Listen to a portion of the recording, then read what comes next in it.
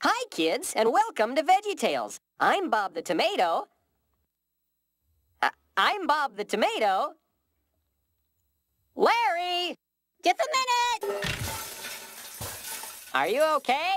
I'll be right there! Whoa! Excuse me. Uh, Larry? Yeah, Bob? Over here. Oh, yeah?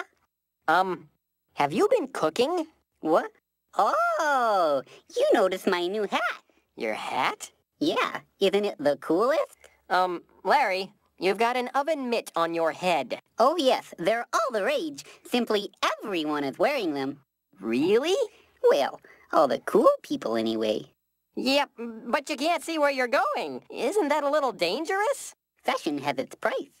Larry, he almost fell into a toaster back there. Oh, Bob, Bob, Bob. Don't you read Veggie Beat magazine?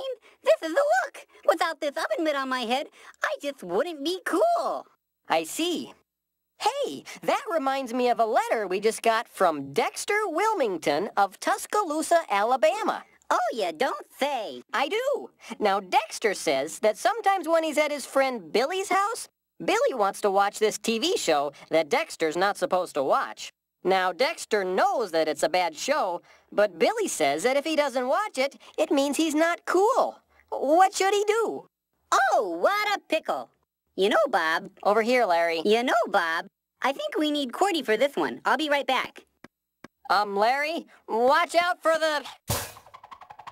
sink. Ouch. Are you okay? They didn't mention this in Veggie Beat magazine.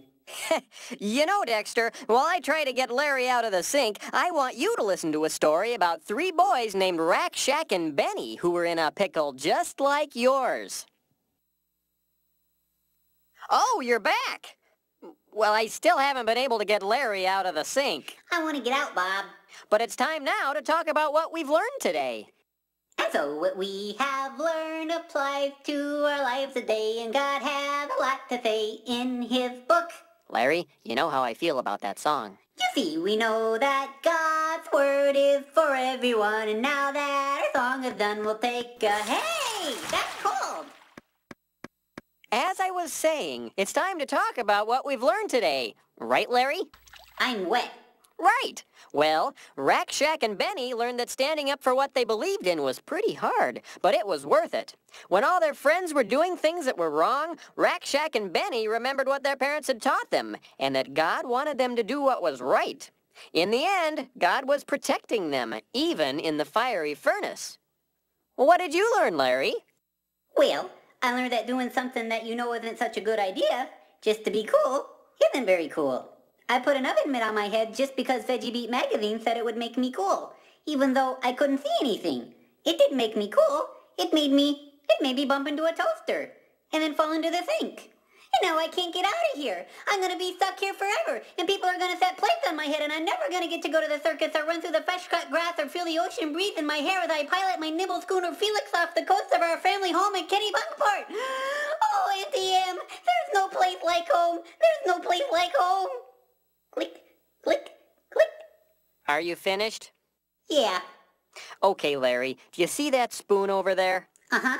If you stand on that end of it, and I jump onto the other end, it'll fling you out of there, okay? Okay. This'll just take a second. I'm ready. Okay, here I come. Oh, that's much better. Thank you, Bob. Bob? Bob! I'm in here, Larry. Oh, there you are. Hey, let's see if Qwerty has a verse for us. Stand firm and hold to the teachings we passed on to you. Second, Cephalopians, Thessalians, Cephalopians. Uh, Bob? Thessalonians. Thanks. Can I get out now? Not yet. Second Thessalonians 2.15. That means remember what your parents teach you and what you've learned from the Bible. If someone wants you to do something that you know is wrong, stand firm and do what's right. In our story, Rack, Jack, and Benny stood firm when all their friends were doing things they knew were wrong. So Dexter, the next time you go to Billy's house, maybe you could bring one of your favorite videos to watch instead. He might think it's pretty cool. It isn't always easy, but knowing you've done the right thing sure feels good inside. Right, Bob? Yep, that's right, Larry.